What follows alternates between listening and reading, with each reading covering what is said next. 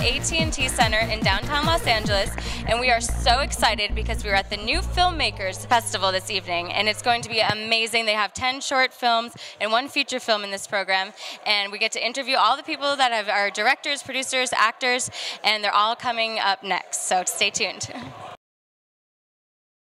Hi guys, I'm Heather Francis and I'm standing here with Danni Conner and you're the producer of R Rosita for President. Yes. Yes, amazing. Okay.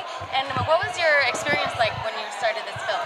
Um, the experience was wonderful. Rachel um, Goldberg is the writer director of the piece, and she did an amazing job on the script, and that's what kind of like made really made me want to be a part of it. Right. Um, and then we just went from putting everything together to what you're getting ready to see now. Final product.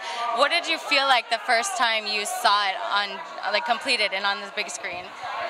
Overjoyed, overwhelmed, um, glad to see the baby that you kind of helped put together from beginning to end is actually out in the world and people are loving it and appreciating it. Absolutely, and getting a message from it. It seems that obviously it's very inspiring film, so. Very much so. Very, very cool. That's Yeah. exciting. It's a short film um, that I think people will appreciate. It's got a little politics in it, but you know the underlying message is that love is love, and that Yeah. you're you're able to be free to love who you want.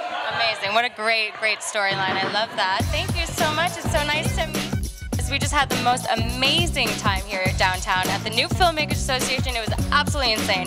I am just like overwhelmed with all of the excitement that just happened here. So I think that you guys need to come out here next month and check it out because you don't want to miss what's happening here. It's amazing. A lot of up and coming new directors and actors and actresses and everybody. You, this is in the mix. You want to be here for sure. See you next time.